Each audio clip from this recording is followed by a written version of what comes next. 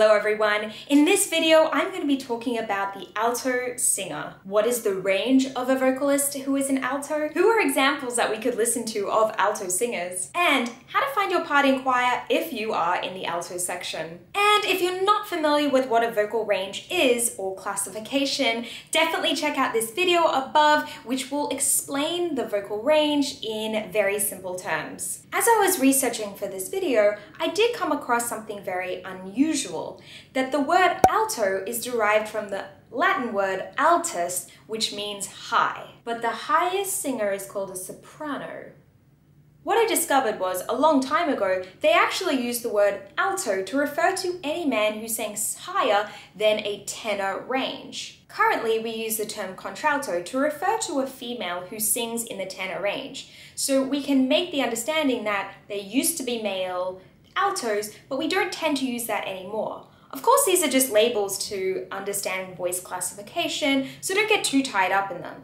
But that's the story. Now, in today's times, we do recognize that the alto singer has a range between E3 all the way up to G5 or A5.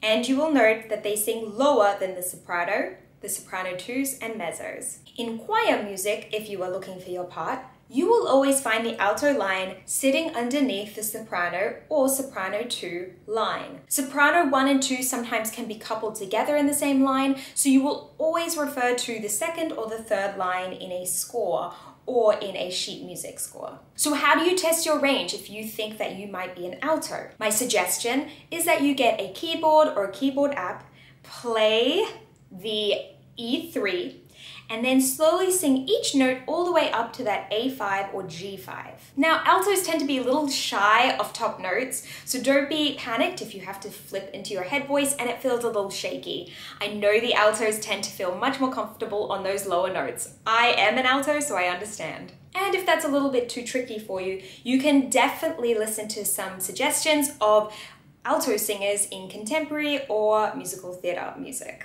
In contemporary music, I would probably think of the singers Lana Del Rey, Lorde, and Amy Winehouse. They have really low tones in their singing and would be great examples to listen to and to sing along with. See if you fit there. And if you tend to be a musical theatre buff, you could definitely listen to Morticia from the Addams Family musical.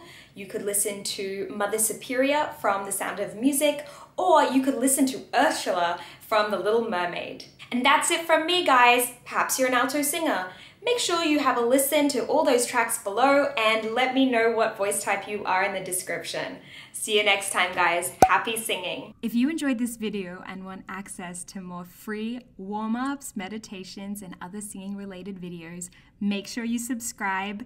I am a new channel and any support is appreciated so I can make more material for you guys. Anyway, that's it from me. See you next time.